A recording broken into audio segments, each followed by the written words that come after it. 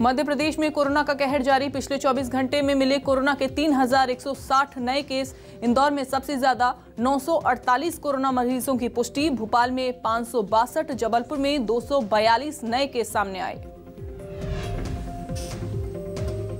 छत्तीसगढ़ में कोरोना का अटैक। प्रदेश में 24 घंटे में चार लोगों की मौत। वहीं 4,120 पॉजिटिव मरीज़ मिले। रायपुर में अकेले एक पॉजिटिव मरीज़ मिले। खंडवा में मंत्री उषा ठाकुर बिना मास्क पहने ही लोगों की सुनती रही समस्याएँ। सवाल पूछने पर मंत्री उषा ठाकुर बोली, तुम्हारे मास्क से मेरा गमछा चार गुना ज़्यादा मज़बूत है। छत्तीसगढ़ में मिड डे मील को लेकर सरकार का बड़ा फैसला। कोरोना के बढ़ते संक्रमण के चलते अब सूखे राशन के बजाय मिलेगा पैसा। छात्रों और उनके पालकों के खाते में भेजी जाएगी राशि।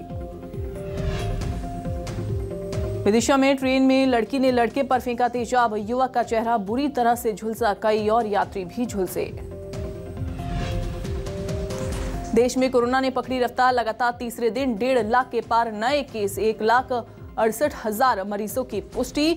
बीमारी से 277 लोगों की जान गई।